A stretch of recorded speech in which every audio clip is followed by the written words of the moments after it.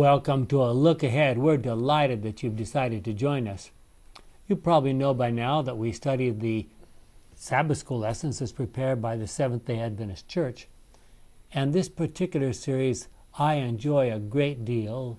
It's a, a series on the great controversy, and it's entitled Rebellion and Redemption. That sounds like a right kind of a progression, doesn't it, to go from rebellion to redemption? This is lesson number 12 in that series from March 19 of 2016 entitled The Church Militant. Hmm, is church militant a, some kind of a contradiction in ideas? A church is supposed to be loving and kind and generous and not militant, right? So, what's a church militant? Well, let's see if we can figure that out as we study together. Let's begin with the word of prayer. Our wonderful Father, we bow before you once again, claiming your promises. We look at these messages that you wrote. You had your friend John write from the Isle of Patmos to those seven congregations in western Turkey. And uh, we have looked at them in the context of the progress of the Christian church down through the ages, and they seem to fit. Help us to understand how each one of these churches has a part to play and what part it plays that might give us some knowledge and understanding of, of your working with us as human beings, is our prayer in Jesus' name. Amen. We're going to be looking primarily at the passages in Revelation 2 and 3 where uh, John describes those seven churches in western Turkey. But we need to get a little bit of context. When Jesus ascended to heaven, 10 days before Pentecost, he left a small group of followers with a task that even they could not possibly have comprehended. Do you remember what he said in Matthew 28 19 and 20? Go then to all peoples everywhere and make them my disciples. Does that sound like a real common thing for a Jew to do? Baptize in the name of the Father, the Son, and the Holy Spirit, and teach them to obey everything I have commanded you, and I will with you, be with you always to the end of the age. And what was the usual response when you said a Jew needs to go out and reach out to Gentiles? Over my dead body. something like that. Resistance. In the beginning, they thought their work was exclusively to the Jews in Palestine. Through a variety of circumstances which we've discussed in previous lessons, God finally convinced them that the gospel was to go to all the world. Paul with Barnabas, and then later with Silas, carried the gospel to Western Asia Minor, now Turkey, and on into Europe. Others, no doubt, were involved as well. Near the end of the first century, the Roman government attempted to kill John by throwing him into a pot of boiling oil. Now, which John is this? The Apostle John. This is the one of the disciples, the Apostle John. They threw him into a pot of boiling oil, uh, but he did not die. The same people who had thrown him into the pot of boiling oil had to pull him back out again. And you wonder where I got that? Well, of course, it's in the ancient writings, but Ellen White uh, uh, supports that view. Look at these words John was cast into a cauldron of boiling oil, but the Lord preserved the life of his faithful servant, even as he preserved the three Hebrews in the fiery furnace. As the words were spoken, thus perish all who believe in that deceiver Jesus Christ of Nazareth, John declared, My master patiently suffered to all that Satan has his angels could devise to humiliate and torture him. He gave his life to save the world. I am honored in being permitted to suffer for his sake.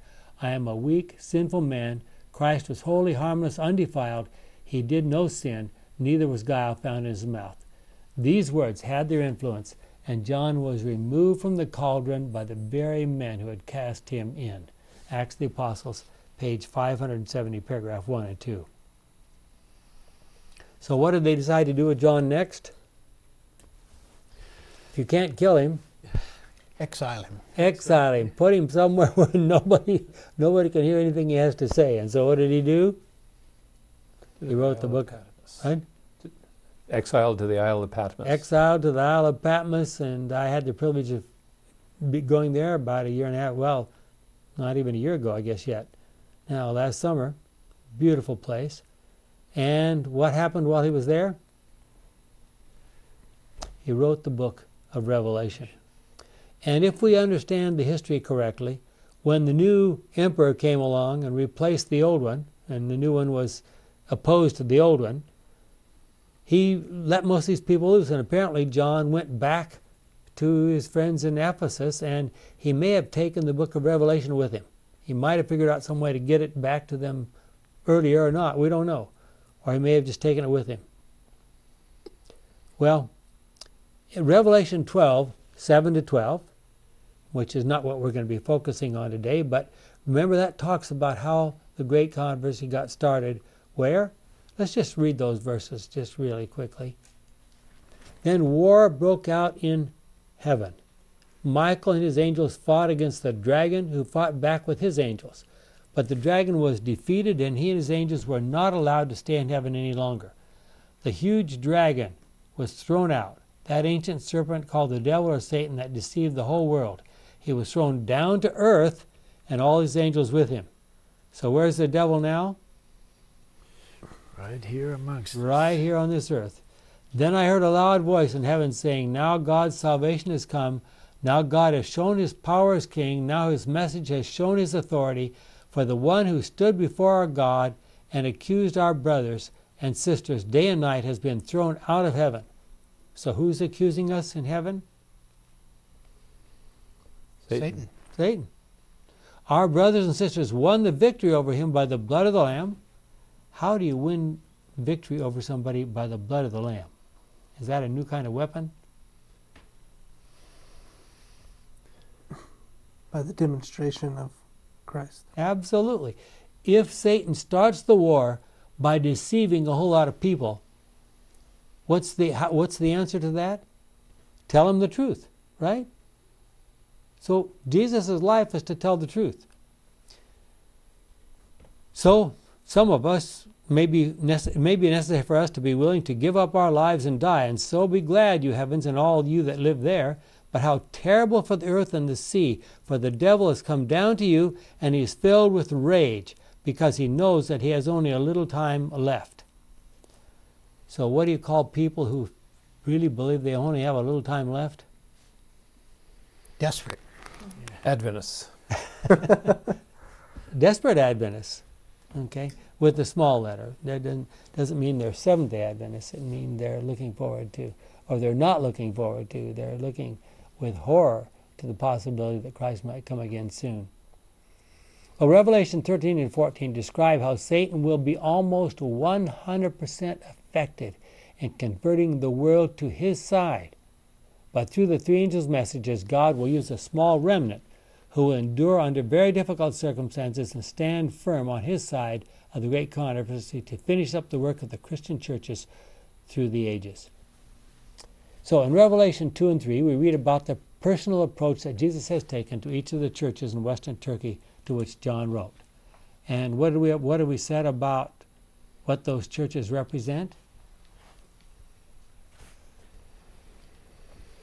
Repre- one view is that they represent the the Christian church down through the ages, from the time of the apostles down to the present time and the future.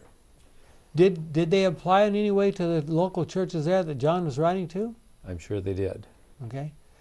Do we have other examples where a prophecy applies locally and then maybe it has a, a bigger application later? Can you think of an example? Isaiah 7.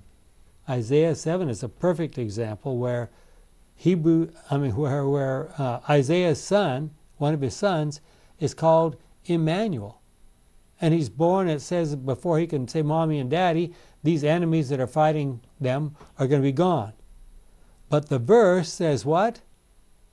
A young woman will give birth, and his name will eventually be Wonderful counselor. Almighty God, Prince of Peace. Who's that talking about?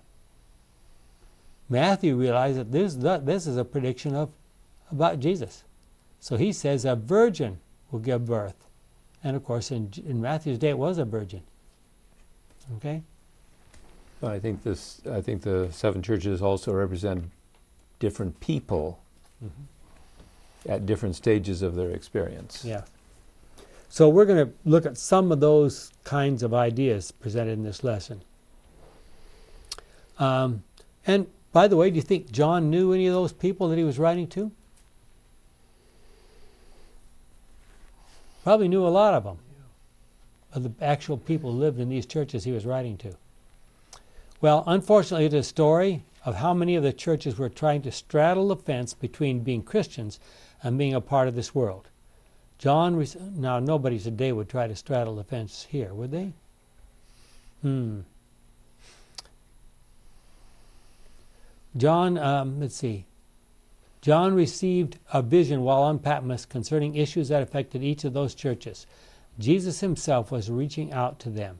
It is through those churches and the larger groups of Christians that they represented down through the ages that God intends to spread the message of Christianity to the world under the close eyes of the onlooking universe. And those are verses we looked at several times Ephesians 3 8 to 10, 1 Corinthians 4 9. Well, let's look at an example of one of these messages to one of the chur- first churches, especially the church of Ephesus. To the angel of the church in Ephesus, right? So now let's understand clearly who's the angel of the church of, Eph- of Ephesus? And he talks about a lampstand that belongs to the church of Ephesus as well. In back in chapter one, what is that? Well, Mm. angel means messenger. Messenger. Yeah. Uh, is is he saying this is a, a message to that church, or to the leader of that church? Okay, that would be part of it. And so the messages usually came to the church members in those days. Remember, you couldn't afford to buy a Bible. There wasn't such a thing as a Bible. You could you could maybe give occasionally get access to a scroll that would have one book on it or something like that. So the one the spiritual leaders of the people would be the pastors or the in some cases maybe itinerant preachers like Paul and so forth who would bring messages to these churches. Um, so this angel would be one of those, maybe, uh, the pastor of the church at Ephesus. So th- this is the message from the one who holds the seven stars in his right hand and who walks among the seven gold lampstands. Now, who's that? Jesus. Yeah, back to chapter 1, it's clearly talking about Jesus. I know what you have done. I know you how hard you have worked and how patient you have been. Well, by the way, what do we know about people in the early days in Ephesus? Do we know anybody who worked there? John was there, wasn't he? John worked there. Paul worked there. Paul. It was, Paul worked there. He was there for about three years, wasn't he? it was a publishing center of sorts. It wasn't became a publishing center for the Apollos was there too. Apollos was there. Can you think of anybody else? Well, this is a very well received or well documented church, right? Okay, there's two other people you should be able to remember. Was it Onesimus? Well, Onesimus, it's quite possible that Onesimus, the one about whom the book of Philemon. Philemon is written, ended up being a leader at the church. Uh, We know that there was an, an Onesimus. We don't know but for sure it's the same one who ended up being the elder in the church at Ephesus, you know, after the apostles were all gone. So that may be another one. There's still two others that I think of right away who had been associates with Paul. Do you remember who they were? Well, I'm thinking about Mark, No. but he was a youngster. Yeah. Um, Barnabas and Silas were the other But the long ones- term The ones you want to be thinking about are a husband and wife. Aquila and Priscilla. Aquila and Priscilla. How did they have anything to do with Ephesus? Remember that Paul, on his way home from Corinth, passed through Ephesus, and they said, Please stay, and we need you here. And Paul says, Well, I'm on my way to Jerusalem, but I have some friends here, and I think they would be willing to stay. And he actually left Aquila and Priscilla there to get really get the church going in Ephesus. So we know a lot of people who worked in Ephesus, right? So in the early days, the church at Ephesus was really blessed. There are those who say that the church in Ephesus was the fourth, I mean, not the church in Ephesus, the city of Ephesus was the fourth largest city in the ancient Near Eastern, well, the Mediterranean world. Can you, Can you guess which was the largest city? Rome, Rome. Do you know which was the second largest? Alexandria. Alexandria in Egypt. What about the third largest? oh no. You can answer that. Maybe Antioch in Syria. Oh, okay. That was Paul's home church. And Ephesus was probably the fourth largest in that world. So we're talking big cities by ancient standards. Hundreds of thousands of people living in these places. So Paul is writing to, I mean, John is writing the words of Jesus to these people. I know that you cannot tolerate evil people and that you have tested those who say they are apostles but are not and have found out that they are liars. So the church at Ephesus had had some very good apostles to get to really set a standard. I mean, Paul and John and oh, maybe Onesimus and Aquila and Priscilla and you know Apollos. I mean, these are people who are praised in the Bible for having the message, right? So apparently, these people in Ephesus, at least at the beginning, had their eyes and their, their minds carefully tuned to the truth versus falsehood, and they didn't tolerate any liars. You're patient, you have suffered for my sake, and you have not given up. But this is what I have against you. You do not love me now as you did at first. Think how far you have fallen. Turn from your sins and do what you did at first. If you don't turn from your sins, I will come to you and take your lampstand from its place. But this is what you have in your favor. You hate what the Nicolaitans do as much as I do. Now, we don't have a long time to go into big discussion of the Nicolaitans, what someone can, what do we know about the Nicolaitans? Almost nothing, but they are mentioned twice in these two books. These, I'm sorry, these two chapters. And there is some evidence that Nicholas, one of the seven deacons that was chosen, apparently started a, a sort of offshoot of the Christian church. And he went around trying to tell people, well, you, you know, you don't have to be quite so strict about observing what God says. You can do, you know, relax your standards a little bit, etc. And that's something, apparently, those were called the Nicolaitans. So not all the deacons were like Stephen. Not all of them apparently were like Stephen. Philip did pretty well, didn't he? Mm-hmm. Well, coming back here, the church at Ephesus represents what Adventists have typically said was the time period between 33 AD and what happened in 33 AD? Stoning of Stephen. Mm, No, I'm sorry. I, I, actually, it's a mistake here. It should be 31 AD. Is 180 is what I meant. What happened in 31 AD? Jesus Christ. Yeah, that would be the crucifixion of Jesus up until around 100 AD. And what happened approximately 100 AD?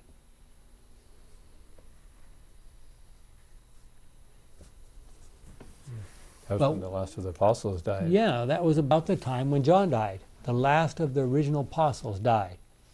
So they were these were the times of the apostles, but by the end of that period, none of the apostles were left. The devil was doing his best to stop the spread of Christianity. I mean, if you had been the devil, and think think about what happened in that in that century.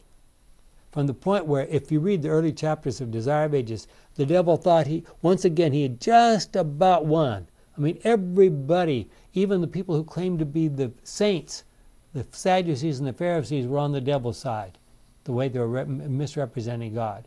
And then, bang, here comes Jesus. And then Jesus dies, and they, the devil thinks, oh, I've got it, I've got it. These people, none of these disciples are going to stand up and, and, and really carry on his message. I, all I have to do is get rid of these 11 or whatever, and it'll be all over. And then Pentecost hits, and mean, just think of the, what the devil went through in that first century. But anyway, so Paul spent years in Ephesus, and so did John. Both of them survived threats on their lives while working in Ephesus. Ephesus was the publication center for the early church, as Jim mentioned. What do we mean by a publication center?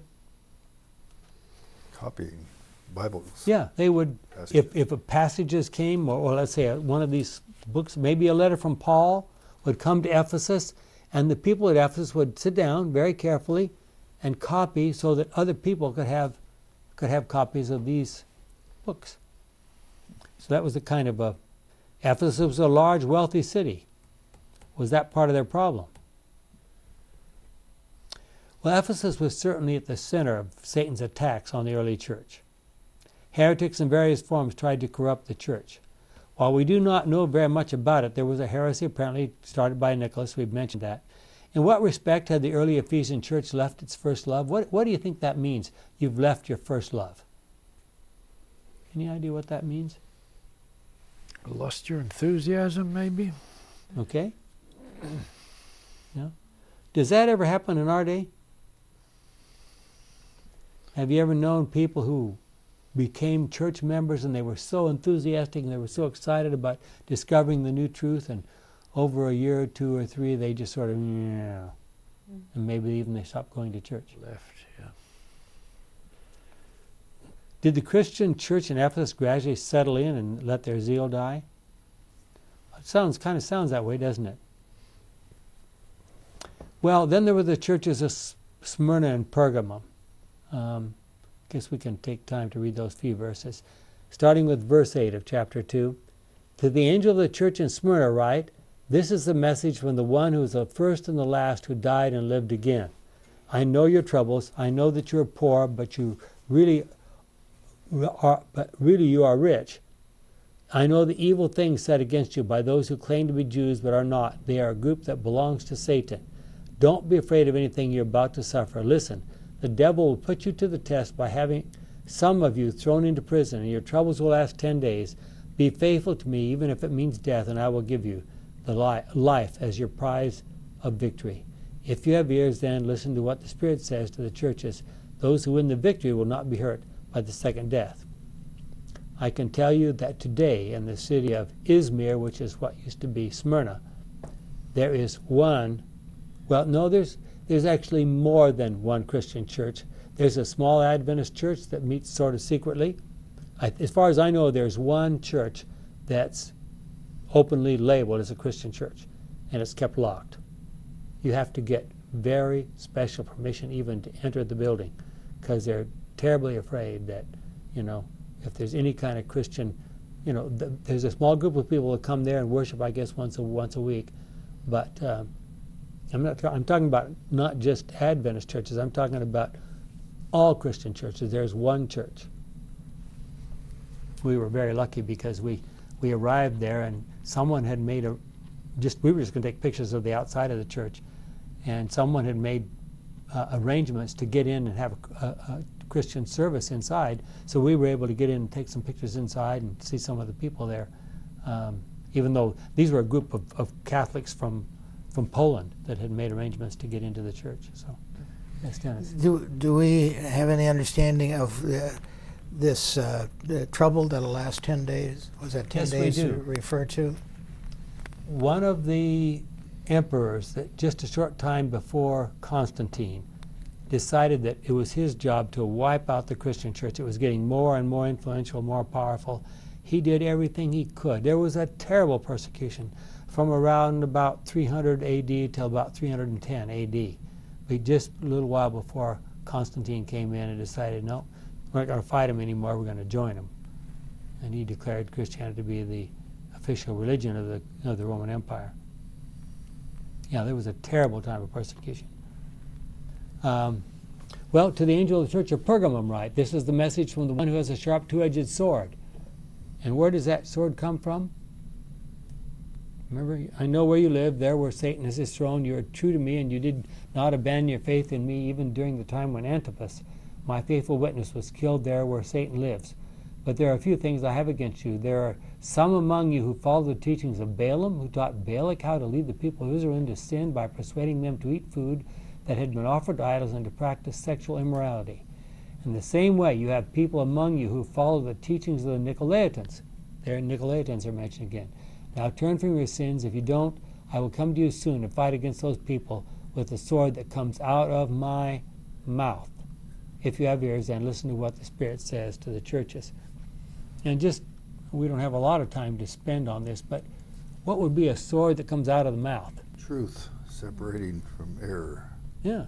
If, as we've said many times, if the problem with the great controversy started by lies about God, the, the, the, the truth coming out of the mouth of Jesus is going to be the answer, right? Going to be the solution. So that's very It's interesting. Um, how many of you have heard of Polycarp? Yeah. A number of you have heard of Polycarp. He was one of the next generation of Christian leaders after the apostles, and apparently was actually worked with the apostle John for a period of time, and then he became the leader of the church in um, in uh, Smyrna. And um, when he was quite elderly, the Roman government found out where he was, came and, and, and uh, uh, arrested him. And when they came to arrest him, he was at the home of a Christian. And he said to the lady in the house, Please give these people, these soldiers, some food to eat. And while they were eating, he stood in the corner of the room where they were eating. She's a Christian is feeding these Roman soldiers who've come to arrest him. He is praying for every Christian that he can think of in the Roman Empire. I mean, imagine. And they took him out. They wanted to throw him to the lions, but it was some things that didn't work out, so they ended up burning him at the stake. So this is the kind of people we're talking about here, the leaders. Smyrna rep- represents a period between about 100 AD to about 320 AD. And what happened around 320 AD? Christianity was Constantine. called the state religion, so Yeah. to speak. Constantine. Constantine. Now, it took a while for that idea to take hold. Christianity didn't really take hold of the Roman Empire until about the times of, of um, Justinian, which was, what is that, a couple hundred years later, before, Christianity really, really sort of controlled. Um, but, but at least it, got, it was officially the, the, the religion of the, of the Christian church, I mean, of the excuse me, of the Roman Empire. So also, uh, uh, so this period, the, the Smyrna period ran from 320 A.D. I'm sorry, the Pergamum period ran from 320 A.D. to 538 A.D. What happened in 538 A.D.? We see what we call the Pope today start to manifest his power. That's the beginning of what we call the 1260 day prophecy. It's actually 1260 year prophecy, but it's prophetic days. Also known as the 42 month prophecy, also known as the three and a half year prophecy. Where, where are those prophecies? Where do you find those? Daniel? Daniel and Revelation. Daniel and Revelation. Right. I know of six places uh, that that period of time is mentioned. Mm-hmm. In it's mentioned in both Old and New Testament. Seems like it ought to be a significant date. Yeah. So, what happened in that 1260 year period? Do we know what started it and what ended it? Well, we call it the Dark Ages. Yeah, we call it the Dark Ages. It's interesting that the beasts that it talks about in the book of Revelation are representatives of religious authority that have taken on also political and civil authority. So you put those together, and then you use your, your military and civil authority to try to enforce your religion. That's that's evil in the in, in the verse in the ideas of Daniel and, and, and Revelation. So in 538, basically, what happened was the Pope, um, well, he wasn't really the Pope, the Bishop of Rome. Remember that the emperors of, of Rome had moved from Rome, and where was their headquarters now? Constantinople. Constantinople, quite a long ways away. So over here in Rome, there was a kind of power vacuum. And the Pope gradually assumed more and more authority, and finally, in about the time 536 to 538, somewhere in there like that, um, he became a military leader, led his, his, the armies of Rome out, and conquered a large group of military people, much larger than his army. And he thought, wow, you know, I can be not only a spiritual leader, I can be someone with power and authority and military might. And so he became, he just basically assumed both the civil, the, the, the military, and the religious authority. And of course, that was the first real pope. It was replayed by, by Muhammad and his followers. Yeah. Same type of philosophy. A couple hundred years later, Yeah, hundred years later. 609 AD was Muhammad's first e- vision or whatever. Yeah. That Bishop of Rome uh, conquering many times the number of forces that he has was a- after an epidemic of malaria, apparently, and lots, thousands of the invaders had malaria. Is that right? And, so sick they could hardly yeah, fight. could hardly fight, so he slaughtered them. Mhm. But uh, they had, yeah. Anyway, Yeah. In 533, I think it is, Yeah. that, that Justinian declared the Bishop of Rome uh, the corrector of all heretics uh, and the head of all churches. Mhm. Um, so why don't we use that date? Well, Justinian uh, sent his emperor Belisarius, uh, His to military general. his military general, to uh, uh, defend, uh, support uh, the Bishop of Rome. Mhm. And so the, the, the Rome was then liberated from the invaders in 538. Uh, so that's when when he actually was able to assume the power Yeah. that had been given to him earlier. Well, we mentioned the Nicolaitans and the followers of Balaam. What do we know about those two people? They seem to be parallel terms. Here's uh, something from a commentary on the book of Revelation by Ranko Stefanovic, an Adventist. Nicholas and Balaam seem to be parallel terms. Nicholas is, is a compound Greek word, nikao, and laos, meaning the one who conquers people. Balaam can be derived from two Hebrew words, am, people, and Baal, from Bala, to destroy or to swallow, meaning destruction of the people. So, what does that mean? Well, these people are trying to cause havoc, right, in God's church. Well, then what comes after Pergamum? We haven't said much about Pergamum, but we need to keep moving. Thyatira. Thyatira. Well, during the Thyatira time, what happened?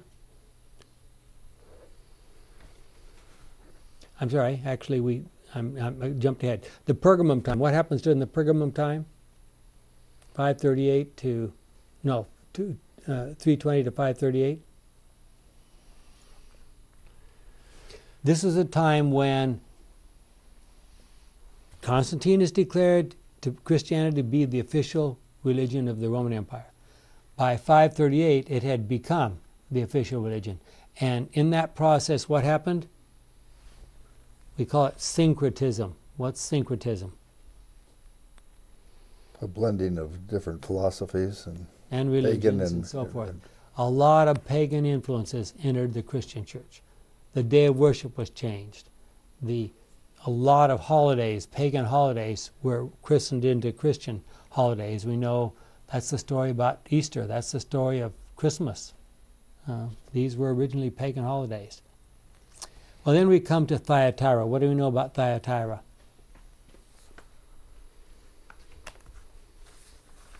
basically represents uh, during the Dark Ages. hmm Almost a thousand years, maybe even a little over a thousand years, from the 538 to around about 1560. What was happening in the early 1500s?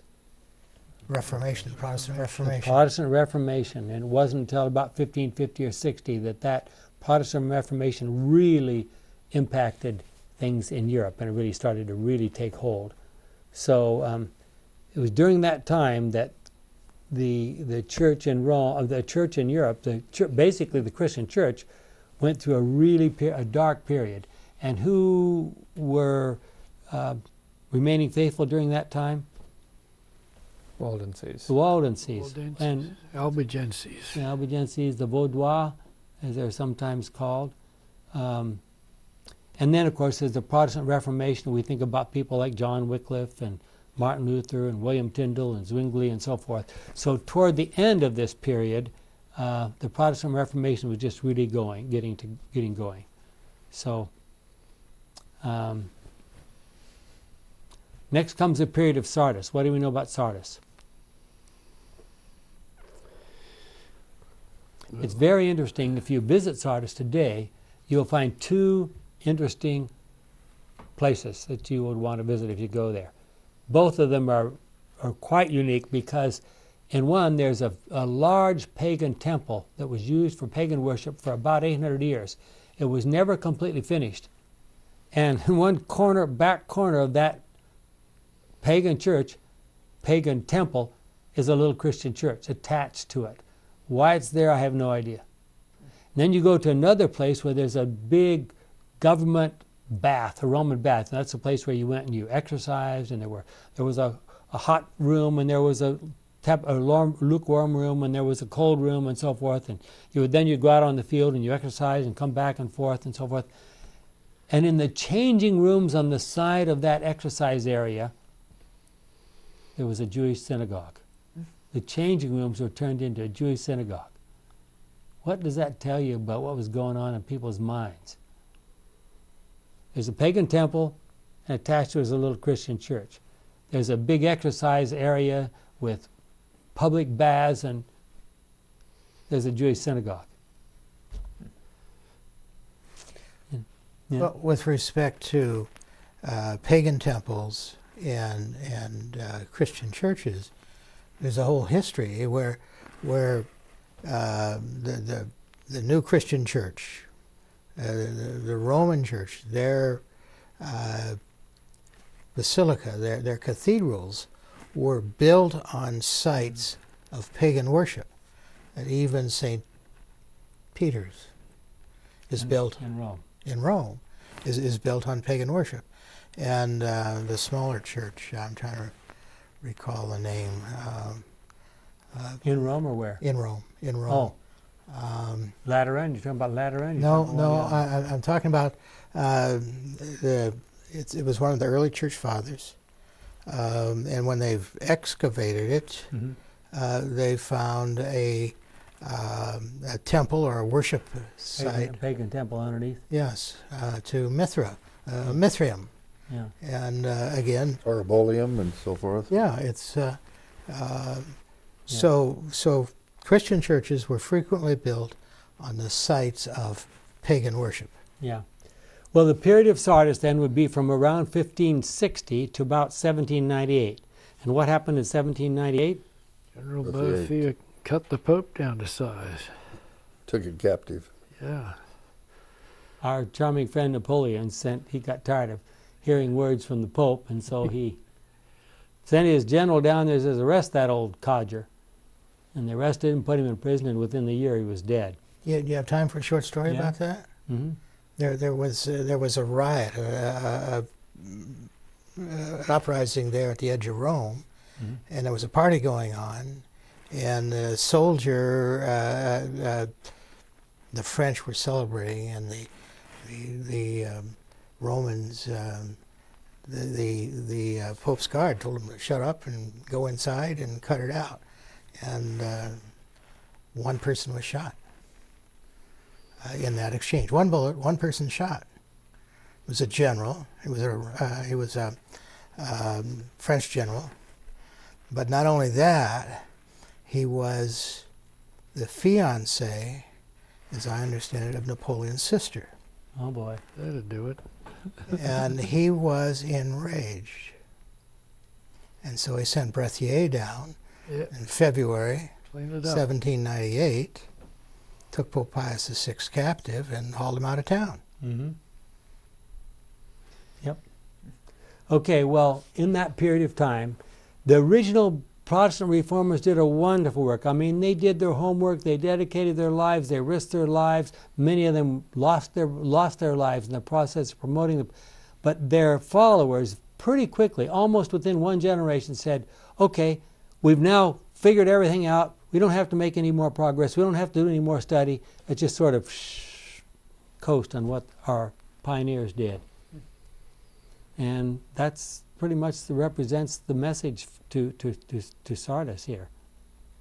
And then, there, near the end of the period we call the Sardis period, was marked by several very important events. One, the Lisbon, ear- the Lisbon earthquake of November 1, 1775, the American War of Independence 1776, 1755, I'm sorry, the earthquake, American War of Independence 1776 to 1780, uh, going on into 1781.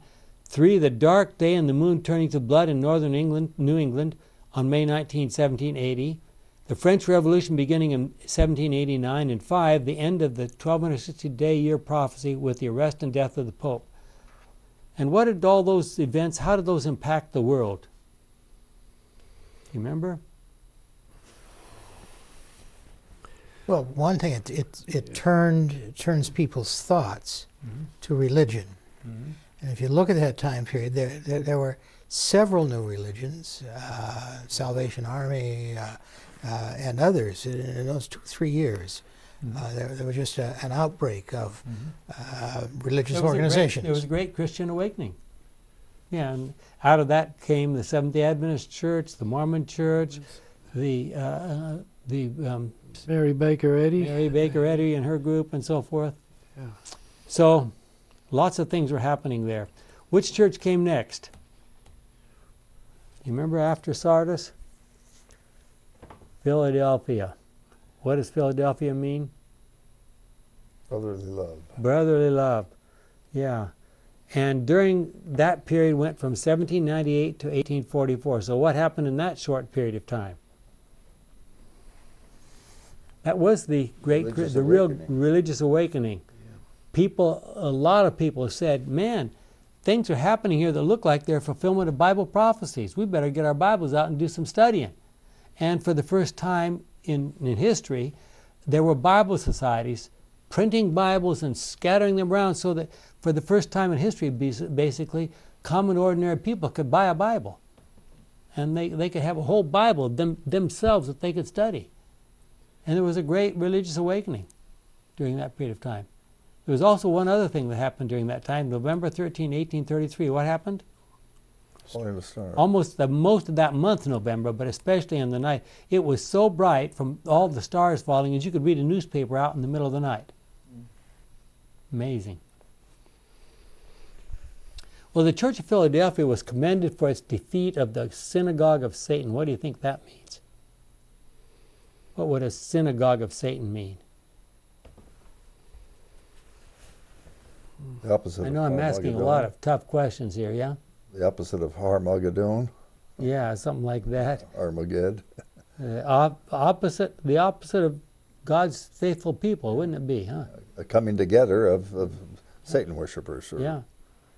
And um, some have suggested that for a little while it looked like the Roman Catholic Church was going to be just going to fade into nothingness. Now we know that's not what happened because Romans I mean Revelation 13 is going to tell us what's going to happen to the mortal wound. Healed. Healed, yeah. The mortal wound was healed. Well, and what happened next? Unfortunately, Philadelphia was not the last of the churches. What do we think happened between the Philadelphian period and the Laodicean period?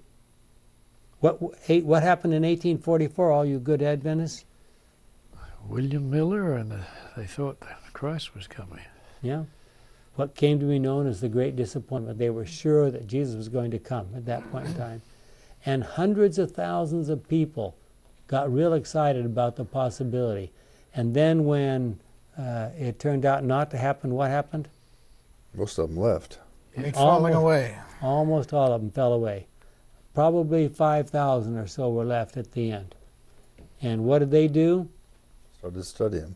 They started studying their Bibles more carefully. They said, you know, we don't believe that this is completely wrong. There must be something that we have misinterpreted. And then they decided that, yes, it was the problem is Jesus was something was happening not here on this earth, but something was happening in heaven.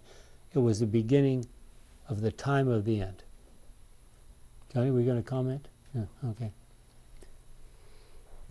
So then there's the, the church that we talk about probably the most of all. It's found in Revelation 13, 14 to 22. And what's it called? Laodicea. Laodicea. Yeah. I think I just uh, accidentally turned my thing off here. Forgive me. And the church in Laodicea starts starts at what point in time? Sorry. When does the church of Laodicea start? About 1844. 1844. And the Laodicea, what does that mean? Do you know what the name Laodicea means? Not hot or cold. Lukewarm. Well, it's that's what the, that's how it's described, but that's not what it means. What does the word Laodicea mean? Literally, Laos is the word for people, and Dicea is the word for judgment. the judgment of the people, the time of the end. It's the time of God's judgment. And I don't know what happened to my.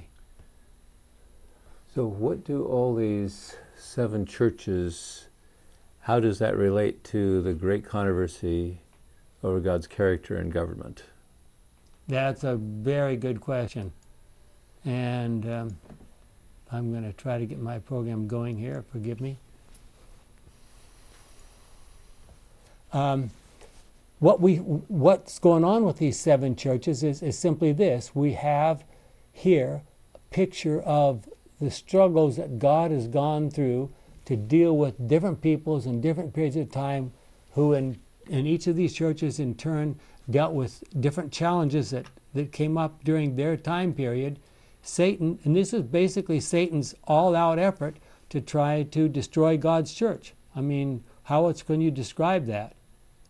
Um, and we've talked about what's happened at different times. Now, in this final time, what what's happened and what hap- what else happened in 1844 that has had a huge impact on on the on people on this earth? Do you remember? Charles Darwin. Charles Charles Darwin wrote a book entitled "On the Origin of Species,", right? Well, Karl Marx wrote something about that time. Karl. Marx did some writing about that same time. Yeah. So and then, you, what and then also shortly thereafter, you've got um, uh, several of the encyclicals by the Pope. Mhm. Uh, the infallibility of the Pope, uh, the um, there were three other I think those doctrines that came about about that time. Yeah. Well, in Revelation 3, verses 14, 22, can I borrow your Bible Sure. for a second here? Sorry that our technology is falling apart here. The message to Laodicea, Revelation 3, verses 14. To the angel of the church at Laodicea, write, This is the message from the Amen, the faithful and true witness, who is the origin of all that God has created. So, first of all, this person is who? Right up front? The origin of all that God has created. Who would that be? Jesus Christ. Yeah. I know what you have done. I know that you are neither cold nor hot. How I wish you either one or the other. But because you're lukewarm, neither hot nor cold, I'm going to spit you out of my mouth. And the word actually there means vomit you. Vomit you out of my mouth. And if you happen to visit the churches, uh, the, the churches around the area of Laodicea, there were three of them Colossae, Laodicea, and Hierapolis. And Hierapolis became very famous because it had a whole lot of hot springs. Really hot water comes out of the out just right out of the side of a mountain, runs down, and there's wonderful. I've been there, stayed in a hotel. You can sit and bathe and, and, and, soak in the hot tubs and so forth. They're just naturally hot water. On the other side of the valley, there is Colossae, where um, the there was a river that ran right off of a high mountain and had really cold water. So here's Laodicea in the middle. They all they have is they have they got some of the cold water, but had to run through pipes a long way through clay pipes. So by the time it gets to Laodicea, it's lukewarm.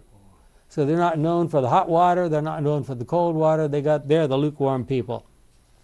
How I wish you were one or the other. But because you're lukewarm, neither hot nor cold, I'm going to spit you out of my mouth. You say, I am rich and well off. I have all I need, but you do not know how miserable and pitiful you are. You are poor, naked, and blind. I advise you then to buy gold from me, pure gold. In order to be rich, buy also white clothing to dress yourselves and cover up your same, shameful nakedness. Buy also some ointment to put on your eyes so that you may see. I rebuke and chasten all whom I love. Be in earnest then and turn from your sins. Listen, I stand at the door and knock. If any hear my voice and open the door, I will come into their house and eat with them, and they will eat with me. To those who win the victory, I will give the right to sit beside my, me on my throne, just as I have been victorious and now sit by my Father on his throne. So, what kind of picture is that? What's Jesus saying to them? Uh, to me, what, what, what, what leaps off the page is that the chief church of Laodicea is deceived. Mm-hmm. Yeah, you know, he describes how how they feel about themselves. You say, I'm rich and well off, have need of nothing. Yet God is saying, You are poor, pitiful, wretched, naked. And Mhm. uh, so there's a, a very big disconnect. But he, he couldn't be talking about us, could he? No, no.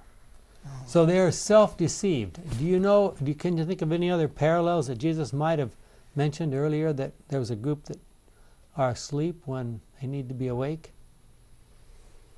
Story of the ten virgins. Yeah, Matthew 25, the story of the ten virgins, right?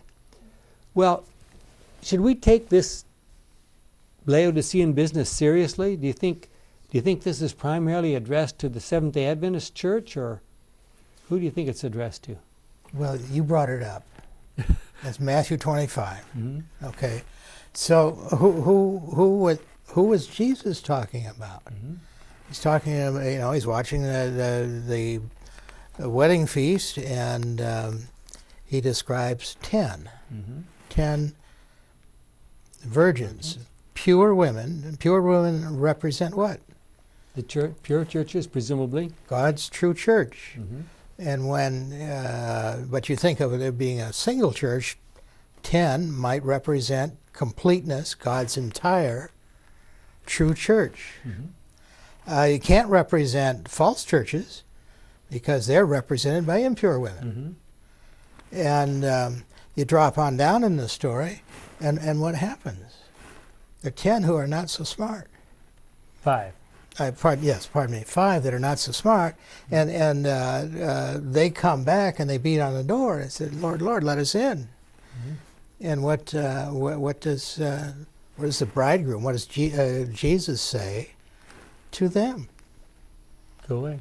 Go away! I never knew you. hmm Yet they're described as ten Pure women. as as as pure women. hmm Uh, that should be very startling. Well, And they all went to sleep. All ten of them. All ten of them went to sleep, but but there are, but there's a large percentage of God's true church who are deceived, Mhm. and that's what we're reading here in Revelation three. hmm Yeah, exactly. So, we do we if we take the, the, the message of the Laodicean church seriously, do we recognize that Jesus Christ Himself, the divine Son of God, is speaking to us? Does He have any special messages for the Seventh Day Adventist Church, or I might add, for all Christians in our generation? Here's a, some words from Ellen White. Since the divine law is as sacred as God Himself, only one equal with God could make atonement for its transgression. None but Christ um, could redeem fallen man from the curse of the law and bring him again into harmony with heaven. Christ would take upon himself the guilt and shame of sin, sin so offensive to a holy God that it must separate the Father and his Son. What does that say to us? Christ would reach to the depths of misery to rescue the ruined race. Ellen White, Patriarchs and Prophets, page 63, paragraph 2. God Himself came to this earth to make it clear to us what He wants of us and what He is willing to do for us, not only by telling us what to do, but also by demonstrating it. By His death, Jesus demonstrated several absolutely essential truths. But the plan of redemption, now, now I'm reading from a passage found in Patriarchs and Prophets, page 68 and six, going up to 69. But the plan of redemption had a yet broader and deeper purpose than the salvation of man. It was not for this alone that Christ came to the earth. It was not merely that the inhabitants of this little world uh, might regard the law of God as it should be regarded, but it was to vindicate the character of God before the universe.